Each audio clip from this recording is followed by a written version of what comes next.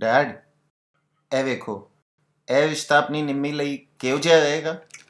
ਲੱਗਦਾ ਤਾਂ ਠੀਕ ਹੈ।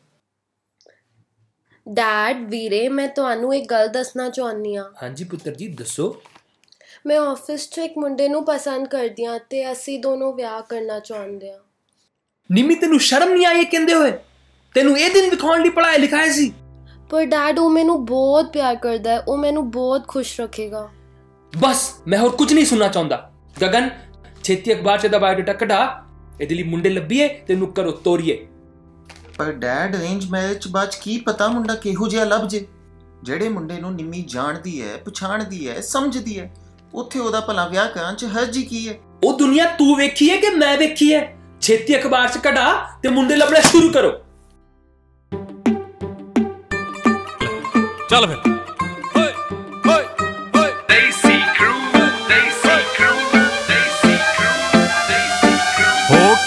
ਯਾਰ ਬੇਲੀ ਹੁੰਦੇ ਵਾਲੇ ਨੇ ਅਜ਼ੀਜ਼। ਬਿਨਾ ਦੱਸੇ ਲੈ ਜਾਂਦੇ ਮੰਗਵੀਂ ਉਹ ਚੀਜ਼। ਪੁੱਲ ਦੇ ਪਰਸ ਕਰੇ ਜਿਹੜੇ ਵੇਲੇ ਆਏ ਤੂੰ। ਫੋਨ ਨੇ ਵਲਾਉਂਦੇ ਜਿਹੜੇ ਅੱਗੇ ਨਾ ਕੇ ਲਾਏ ਤੂੰ। ਡੀਸੀ ਆ ਜੀ ਮਾਮਾ ਸਾਡਾ, ਚਲਾਨ ਨਹੀਂ ਉਹ ਭਰੇ ਜਾਣਗੇ। ਹੋ ਟੈਨਸ਼ਨ ਨਾਲੋ ਵੀਰੇ ਹੋ ਸਭ ਫੜੇ ਜਾਣਗੇ। ਆ ਸਭ ਫੜੇ ਜਾਣਗੇ ਜੀ, ਸਾਰੇ ਫੜੇ ਜਾਣਗੇ।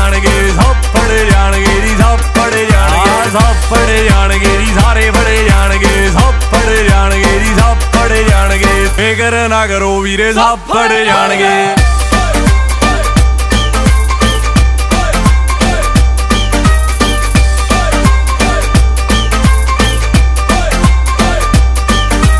ਤੇਰਾ ਜਾਨੂ ਤੇਰਾ ਕਹਿ ਕੇ ਬਣਦੇ ਸ਼ਰੀਫ ਸਾਲੇ ਮਿਲਣ ਤੋਂ ਪਹਿਲਾਂ ਚੈਟਾਂ ਕਰਦੇ ਡਿਲੀਟ ਉਹ ਇਹ ਤਾਂ ਜਸਟ ਫਰੈਂਡ ਆ ਮੇਰੀ। ਉਹ ਝੂਠ ਬੋਲ ਜਾਂਦੇ ਥਾਈਲੈਂਡ ਦੇ ਟ੍ਰਿਪ ਤੇ ਵਿਆਹ ਕਰਵਾ ਕੇ ਜਿਹੜੇ ਟੇਕਦੇ ਨਾ ਇੱਕ ਤੇ ਇੱਕ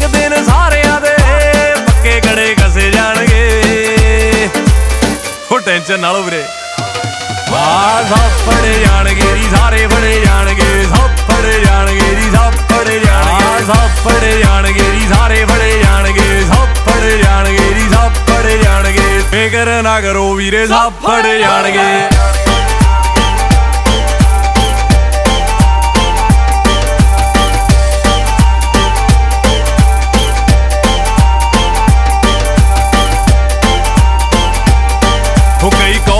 ਫੀਸ ਵਿੱਚੋਂ ਘਰੇ ਕੁੰਡੀ ਲਾਉਂਦੇ ਨੇ। ਕੁੜੀਆਂ ਦੇ ਨਾਂ ਤੇ ਫੇਕ ਆਈਡੀਆਂ ਬਣਾਉਂਦੇ ਨੇ। ਓਏ ਤੂੰ ਹੀ ਆ ਨਾ ਐਂਜਲ ਪ੍ਰਿਆ।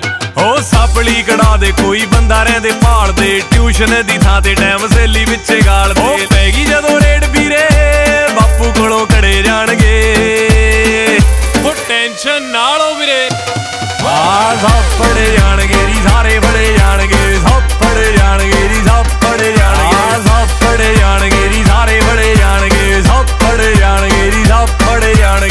ਫਿਕਰ ਨਾ ਕਰੋ ਵੀਰੇ ਸਭ ਫੜੇ ਜਾਣਗੇ।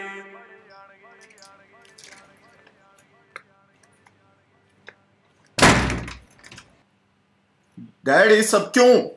ਅਸੀਂ ਕਿਸੇ ਵੀ ਉਪਰੇ ਬੰਦੇ ਨਾਲ ਨਿੰਮੀ ਦਾ ਵਿਆਹ ਕਰਾਉਣ ਲਈ ਤਿਆਰ ਹਾਂ। ਪਰ ਜਿਹੜੇ ਮੁੰਡੇ ਨੂੰ ਉਹ ਪਸੰਦ ਕਰਦੀ ਹੈ ਉਹਦੇ ਨਾਲ ਕਰਾਉਣ ਲਈ ਤਿਆਰ ਨਹੀਂ ਹਾਂ। ਕਿਉਂ? ਸਿਰਫ ਇਹ ਸਮਾਜ ਦੇ ਝੂਠੇ ਰੀਤੀ ਰਿਵਾਜਾਂ ਕਾਰਨ। ਤੂੰ ਸਹੀ ਕਹਿ ਰਿਹਾ ਹੈ ਪੁੱਤਰ ਤੂੰ ਸਹੀ ਕਹਿ ਰਿਹਾ। ਹੈ ਇਹ ਸਮਾਜ ਦੀ ਝੂਠੀ ਇੱਜ਼ਤ ਕਰਕੇ ਮੈਂ ਇਹ ਭੁੱਲ ਗਿਆ ਸੀ ਕਿ ਨਿੰਮੀ ਦੀ ਖੁਸ਼ੀ ਸਭ ਤੋਂ ਉੱਪਰ ਹੈ। ਜੇ ਮੁੰਡਾ ਇਹਨੂੰ ਨਾ ਖੁਸ਼ ਰੱਖ ਸਕਿਆ ਤੇ ਕੀ ਫਾਇਦਾ ਇਸ ਇੱਜ਼ਤ ਦਾ? ਨਿੰਮੀ ਤੂੰ ਅੱਜ ਹੀ ਉਹ ਮੁੰਡੇ ਨੂੰ ਬੁਲਾ ਤੇ ਮੈਂ ਤੁਹਾਡੇ ਰਿਸ਼ਤੇ ਦੀ ਗੱਲ ਕਰਨੀ ਹੈ। ਦੇਖ ਲੈ ਨਿੰਮੀ ਉਹ ਮੁੰਡੇ ਨੂੰ ਕਹਿ ਧਿਆਨ ਨਾਲ ਕਿਤੇ ਕੱਲ ਉਹੀ ਨਾ ਫੜਿਆ ਜਾ ਆ ਸਭ